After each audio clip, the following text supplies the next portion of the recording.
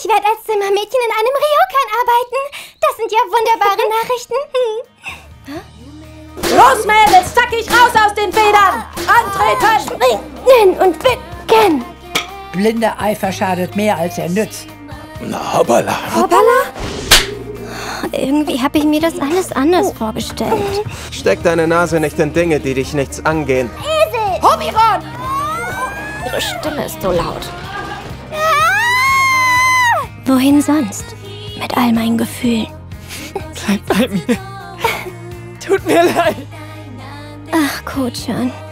Bringt mir ab sofort mehr bei, denn nur so schaffe ich es, besser zu werden.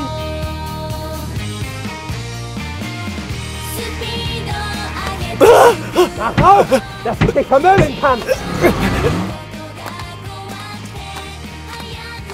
Dann nehm ich dich ebenso gefangen, alter Mann.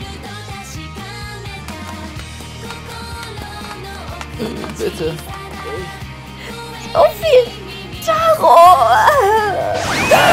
Mein ganzes Leben zerrinnt mir zwischen den Fingern! Und was ist mit Minchi? Los jetzt!